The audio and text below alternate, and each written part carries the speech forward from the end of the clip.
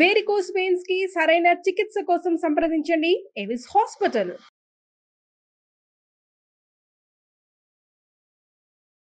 నమస్తే welcome back to Suman TV నేను మీ సంజయ్. ఈ రోజు మనతో పాటు ఉన్నారు మోటివేషనల్ స్పీకర్ మరియు emotional wellness coach Haritha Akkala గారు. ఆమెతో మాట్లాడుకునే విషయాలు తెలుసుకుందాం. నమస్కారం మ్యామ్ నమస్తే సార్ మ్యామ్ ఈరోజు మిమ్మల్ని అడిగే టాపిక్ ఏంటంటే ఓవర్ థింకింగ్ ఏ విధంగా అంటే ఇప్పుడు ఏదన్నా పని చేద్దామన్నా లేదా ఏదన్నా సంథింగ్ వాళ్ళ అవసరం లేని విషయాల గురించి ఎక్కువగా ఓవర్ థింక్ చేస్తుంటారు. అంటే వాళ్ళు ఏదైనా ఐ మీన్ ఒక సంథింగ్ ఏదో గోల్ ఉంటుంది వాళ్ళకి. ఆ గోల్ గురించి ఆలోచించే విషయంలో ఐ మీన్ ఆ గోల్ రీచ్ అయ్యే విషయంలో ఎన్నో రకాల ఆలోచనలు ఉంటాయి.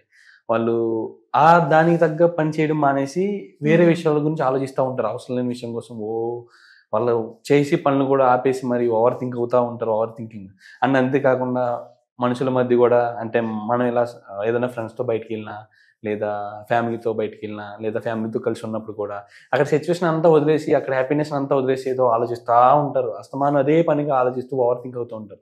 దానివల్ల ఉపయోగం ఏంటి మ్యామ్ అండ్ ఆ ఓవర్ థింకింగ్ వల్ల ఉపయోగాలు లేవని మన అందరికీ తెలిసిన విషయమే.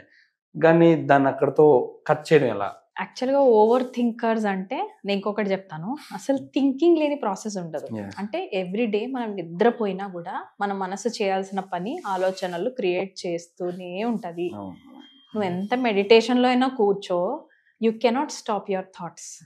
మనం ఏం చేయగలం? మరి మెడిటేషన్ ఎందుకు చేయాలి? ఎందుకు చేయాలి అంటున్నారు మైండ్ఫుల్నెస్కి ఎందుకు ఉండాలి అని అంటున్నారు? You can slow down your number of thoughts. Suppose. నిమిషానికి ముప్పై ఐదు ఆలోచనలు వస్తాయి. నాన్ అండ్ యావరేజ్ నార్మల్ మనిషికి. కొంచెం టెన్షన్ ఎన్ని అయిందంటే forty forty five fifty Hmm. Fifty five అయిందంటే ఇంకా హార్ట్ అటాకే. రైట్ సో అంత స్పీడ్గా థాట్స్ కాకుండా కొంచెం కామ్ డౌన్ చేయటమే నార్మల్ థింకింగ్ ప్రాసెస్. మరి ఓవర్ థింకర్స్ ఏం చేస్తున్నారు? మన చేతిలో లేదు. ఫ్యూచర్ ఎవరి చేతిలోనే లేదు Sanjay? Again I would say this future మన చేతిలో లేదు.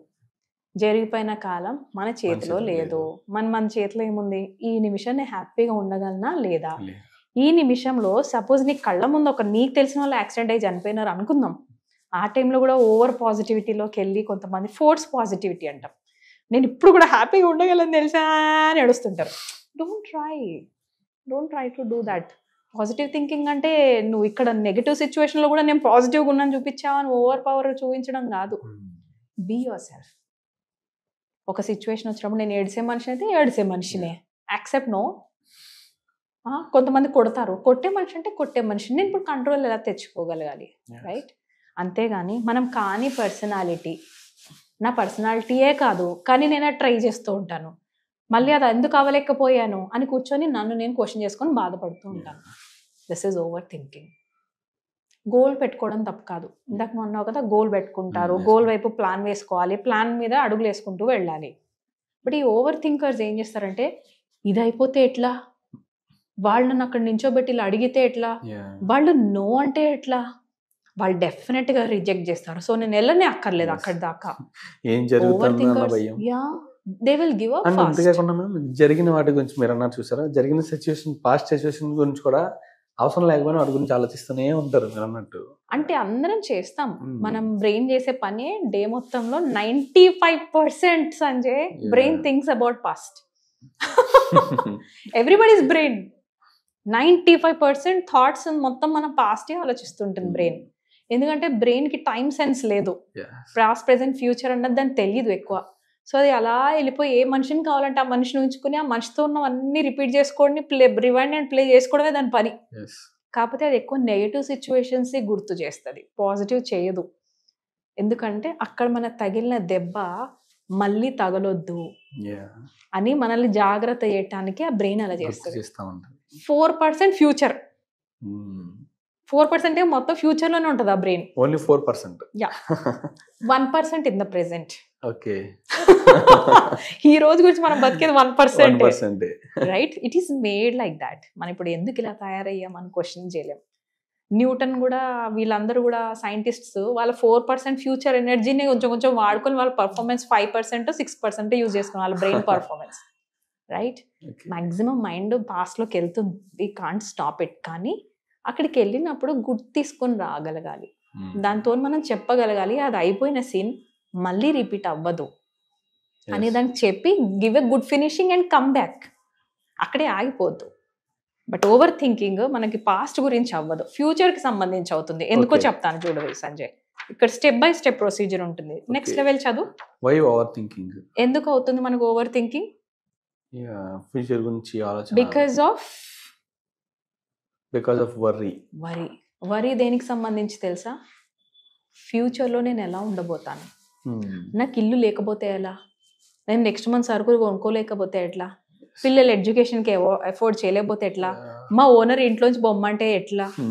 It's related to the future ఏం జరుగుతుంది? ఏం జరుగుతుంది అన్న భయం. నుంచి మనం వర్రీలోకి వెళ్ళిపోతుంటాం right next level okay worry తర్వాత? యాంగ్జైటీ యాంగ్జైటీ అంటే వర్రీ అన్న కొద్దో గొప్ప హ్యాండిల్ చేయగలం. యాంగ్జైటీ అంటే ఇంకా మన కంట్రోల్ తప్పుతోంది సిచ్యువేషన్ ఇంకా నా వల్ల అవ్వట్లేదు. నేను వెళ్ళి మాట్లాడేస్తా. నేను ముందు ఇంట్లోంచి బయటికి వెళ్ళిపోతా. నా వల్ల అవతలేదు నా వల్ల అవతలేదు అని వీల్ కీప్ కంప్లైనింగ్ యాంగ్జైటీలో మళ్ళీ త్రీ లెవెల్స్ ఉంటాయి. మైల్డ్ మోడరేట్ సివియర్ మైల్డ్ అంటే గొప్ప పర్లేదు. సివియర్ అంటేనేమో ఇంకా మనం అన్బేరబుల్ నా చేయి దాటిపోయింది యాంగ్జైటీ యాంగ్జైటీ దాటిపోయిన తర్వాత ఎలా ఉంటాయి చూడు? పానిక్ అటాక్స్ వాళ్ళు సడన్గా పడిపోవడాలు. నువ్వు అబ్జర్వ్ చేస్తావా? ఉండు ఢామ్ అని పడిపోతారు. ఏంటి అంటే వాళ్ళు ఎక్కువ ఏం ఆలోచిస్తున్నారు? మీరు ఏం టెన్షన్ పెట్టుకున్నారండి అని అడుగుతారు. Future. కరెక్టే ఎస్ మ్యామ్ మీరు చెప్పేది ఓవర్ థింకింగ్ వాళ్ళు కూడా వాళ్ళు బ్లడ్ ప్రెషర్ డౌన్ అవ్వడం షుగర్ లెవెల్స్ పడిపోయి సడన్గా. అంటే వాళ్ళ ఆలోచనలు ఇంకా పీక్స్కి వెళ్ళిపోతుంటాయి మేము ఇంకా. వాళ్ళు టెన్షన్ ఫీల్ అయిపోయి మొత్తం పేరలే పడిపోతూ మన ఉంటారు బాడీ పైన ఇంపాక్ట్ చూపిస్తుంది సంజయ్. ప్రతి థాట్ ఒక వైబ్రేషన్ మన బాడీ మీద పడుతుంది. ప్రతి థాట్ నెక్స్ట్ పానిక్ అటాక్స్ తర్వాత డిప్రెషన్. ఈ పానిక్ అటాక్స్ దగ్గరే మనం ఎవరి దగ్గరైనా కన్సల్ట్ అవ్వాలి. అయితే జస్ట్ డాక్టర్ దగ్గరికి వెళ్ళడం కాదు. మైండ్. మైండ్కి సంబంధించిన థెరపిస్ట్ దగ్గర కూడా వెళ్ళాలి. వాళ్ళు డిజీజ్ వచ్చిన తర్వాత హీల్ చేస్తున్నారు. డిజీజ్కి కారణం ఏంటి అంటే నీ ఆలోచన విధానం. అది ఎవరి దగ్గర షేర్ చేసుకోలేకపోతున్నారు. లేదా షేర్ చేసుకున్నా వినేవాళ్ళు లేరు. ఒకవేళ విన్నా జడ్జ్ చేయని మనుషులు లేరు. రైట్ దిస్ ఈస్ ద ఈ ఇక్కడ మాత్రం మనం ఒక మనిషి దగ్గర థెరపిస్ట్ దగ్గరికి వెళ్ళిపోవాలి సంజయ్. ఐదర్ సైకాటిస్ట్కి వెళ్తారా కౌన్సిలర్ దగ్గరికి వెళ్తారా pick some person and go ఇక్కడ కానీ మనం నెగ్లెక్ట్ చేస్తే నెక్స్ట్ లెవెల్ ఇస్ డిప్రెషన్ డిప్రెషన్లోకి వెళ్ళారంటే కేఎల్ కథం దుకాణం మెడిసిన్స్ వేసినా కూడా there are no chances that people would come out of that Yeah. Depression డిప్రెషన్లో ఎవరు ఎలా హ్యాండిల్ చేస్తారన్న నెక్స్ట్ లెవెల్ చూడు. సబ్స్టెన్స్ అబ్యూస్ సూసైడల్ థాట్స్ ఇక్కడ చనిపోకూడదు నేను అని ఆల్రెడీ స్ట్రాంగ్ బిలీఫ్ ఉన్నవాడు వెళ్ళి దీనికి దీనికి అమ్మాయిలకి అలవాటు పడతాడు. అమ్మాయిలు కూడా రైట్ సబ్స్టెన్స్ అబ్యూస్ ఇక్కడ ఈ లెవెల్కి వస్తుంది. ఇన్ని లెవెల్స్ దాటుతున్నప్పుడు ఎక్కడ పోయారు చుట్టుపక్కల జనాలు నాకు అర్థం కాదు. నేను చాలా మందిని అదే అడుగుతాను. ఇన్ని లెవెల్స్ వాళ్ళు క్రాస్ అవుతున్నప్పుడు వాళ్ళు తినకపోవడము నిద్రపోకపోవడము అబద్ధాలు చెప్తూ ఉండడము ఒకటే గదిలో లాక్ చేసుకుని ఉండడము కళ్ళ కింద డార్క్ సర్కిల్స్ రావడము అవాయిడ్ చేస్తూ ఉండడము పదే పదే ఒకటే చోటుకి వెళ్ళి "నేను ఇప్పుడే వస్తాను నైట్ లేట్ రావటము ఇవన్నీ సైన్సే కదా గుర్తుపట్టేది. ఇక్కడ అన్ని వదిలిపెట్టి మనిషి చనిపోయిన తర్వాత సూసైడ్ చేసుకున్న తర్వాత మనం వెళ్ళి ఏం చేసుకోవాలి సంజయ్? కానీ మా వాళ్ళు తెలుసుకోలేరు మేము నిజంగా నా ఒంట్లో ఇవన్నీ జరుగుతున్నాయి నేను ఎలా అయిపోతున్నాను అని చూసి వాళ్ళు ఐడెంటిఫై చేయలేరు. నిజంగా. ఇప్పుడు చేయండి ప్లీజ్. Identify them. వాళ్ళ వర్రి తింటోంది. బీపీస్ ఇవన్నీ ఊరికే రావు. షుగర్స్ ఊరికే రావట్లేదు. Because you are not sleeping well sugar ఎక్కడి నుంచి వస్తుంది అనుకుంటున్నావు? There is no rest for your body అబ్బాయిలు చాలా మంది ఫేస్ చేస్తున్నారు థర్టీ ఫైవ్ ఫార్టీకే వచ్చేస్తున్నాయి. వాళ్ళకి. షుగర్ ఎందుకు వస్తుంది? ఆ స్లీప్ సైకిల్ని డిస్టర్బ్ చేసి రాత్రి పగలు పని చేసేయాలి. పగలు పని చేయాలి. ఇంటికి వెళ్ళి మళ్ళీ రాత్రి పని చేసేయాలి. రెస్ట్ ఏడ్ ఇస్తున్నాం బాడీకి? రైట్ ఇవన్నీ సైకోసోమాటిక్ డిజీజెస్ చాలా పెద్ద సబ్జెక్ట్. మీరు అదే చెప్తుంటే అర్థమవుతుంది. అంతేకాకుండా ఒక ప్రెగ్నెన్సీ లేడీ ఇదే సిచ్యువేషన్లో ఇదే మెంటల్ స్టేట్లో ఉంటే ఆ ఎఫెక్ట్ ఒక తనకు పుట్టే బాబు మీద కూడా అంటే మీన్ ఇప్పుడు చూస్తున్నాం.